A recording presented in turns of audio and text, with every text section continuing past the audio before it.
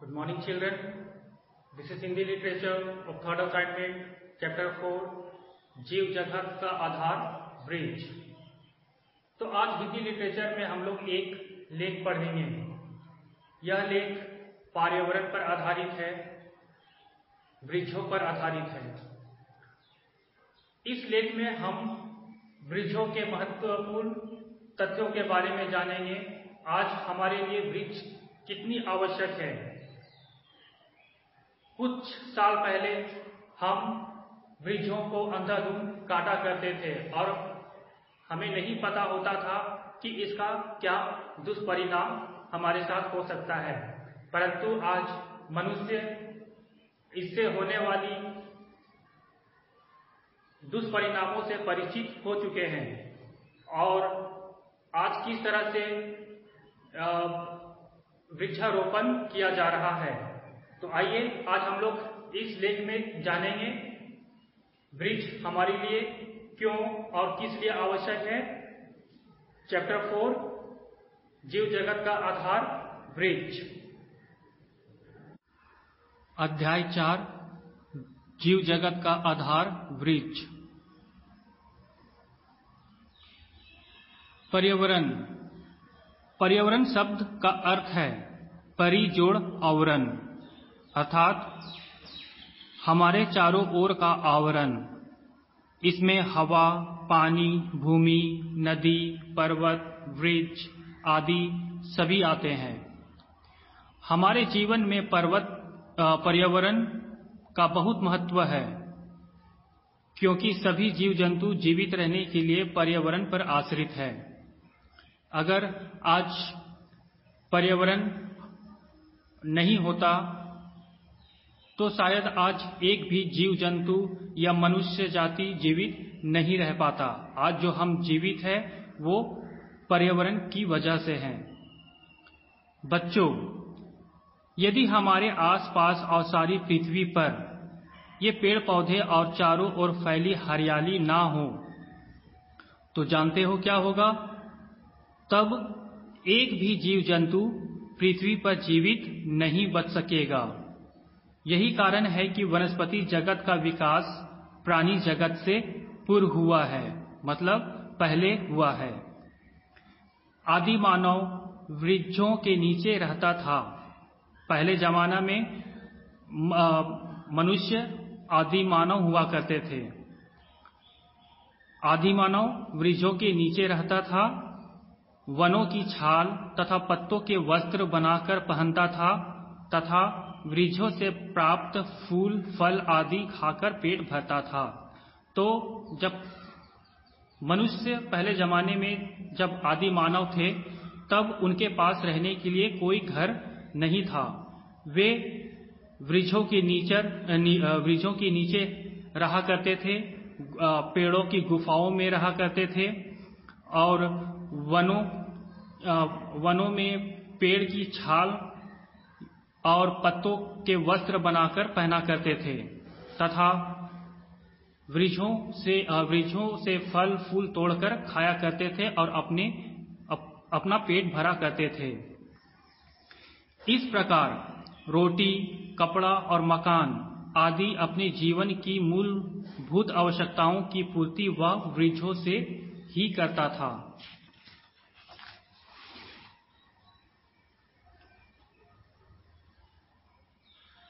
आग का आविष्कार मानव के विकास का पहला चरण था। जब आदि मानव का जब जमाना था तब आग का आविष्कार हुआ था। और, और, मनुष्य का सबसे पहला आविष्कार आग ही था। तब से लेकर आज तक मानव ने अपने विकास के कई चरणों को प्राप्त किया है लेकिन उसके विकास में वृक्षों के योगदान को कभी भुलाया नहीं जा सकता। वृक्ष का एक वृक्ष का जीवित रूप हो या सूखा हुआ, वह सभी रूपों में प्राणियों के लिए बहुत उपयोगी है। वृक्ष सूखा हो या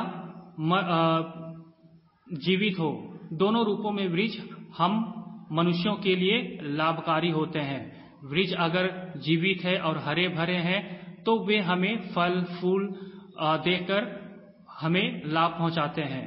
और अगर पेड़ सूख गए हैं तो भी वे हमें जलावन के रूप में लकड़ी देकर और फर्नीचर के लिए लकड़ी देकर हमें लाभ पहुंचाते हैं। वृक्ष की जड़ तना, पत्ते, फूल, फल और बीज से निकलने वाले तेल आदि उद्योगों की दृष्टि से भी महत्वपूर्ण है।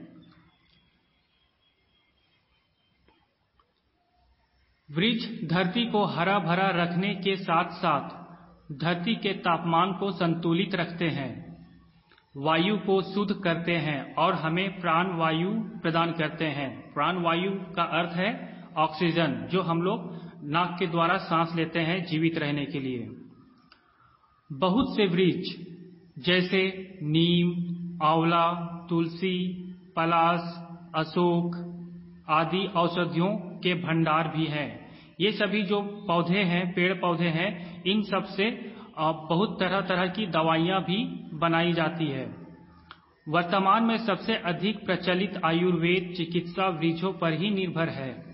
यही कारण है कि भारत में वृक्षों की पूजा की जाती है। वृक्ष लगाना पुण्य और काटना पाप माना जाता है। धर्म की दृष्टि से बरगद, तुलसी आदि कई वृक्षों को देवताओं का निवास स्थान माना गया है। विज्ञान की दृष्टि से पानी की हमारी आवश्यकता को पूरा करने में भी वृक्ष बड़े सहायक हैं।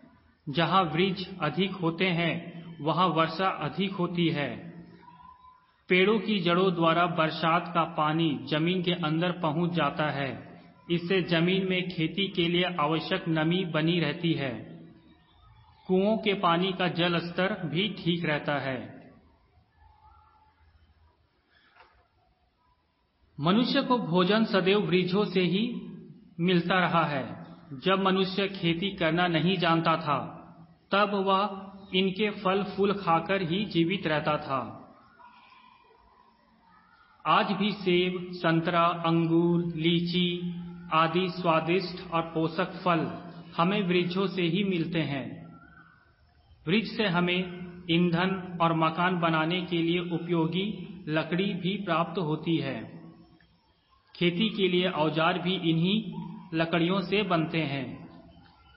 हमें खिड़कियों, दरवाजों और अन्य घरेलू वस्तुओं एवं फर्नीचर जैसे मेज, कुर्सी पलंग, चरपाई आदि के लिए लकड़ी की आवश्यकता पड़ती है। यह लकड़ी हमें वृक्षों से ही मिल सकती है। पहले हमारे देश में बहुत बड़े बड़े वन थे। पहाड़ी हो या मैदानी क्षेत्र, कहीं भी पेड़ों की कमी नहीं थी, लेकिन आज स्थिति ऐसी नहीं है। हमने बस अपना लाभ देखा। भविष्य की कोई चिंता नहीं की। उद्योग धंधों और घरेलू उपयोग के लिए हम वनों को अंधाधुन काट, काट डालते हैं। इसका परिणाम बहुत बुरा होता है।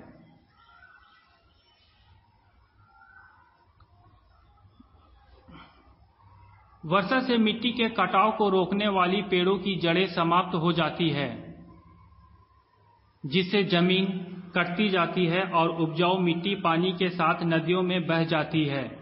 प्रतिवर्ष देश के विभिन्न भागों में जो विनाशकारी बाढ़ आती है, वह बहुत कुछ इन वृक्षों की अंधाधुंध कटाई का ही परिणाम है।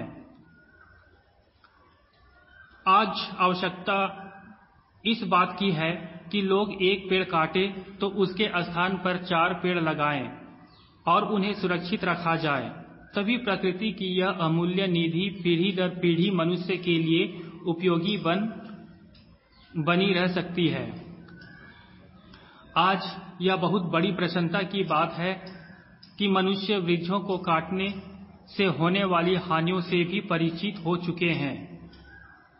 वृक्षों की कमी को पूरा करने के लिए खाली भूमि में वृक्षारोपण का कार्यक्रम भी चलाया जा रहा है। पृथ्वी बड़े पौधे बड़े होकर विशाल वृक्ष बनेंगे। इसके साथ इनसे हमें शीतल छाया और फूल फल भी मिलेंगे। वृक्ष जब तक जीवित है हरा भरा है, तब तक तो उपयोगी है ही। जब मृत हो जाता है तो उसके बाद भी काम आता है। इसलिए प्रकृति के इस अमूल्य उपहार की हमें सुरक्षा करनी चाहिए।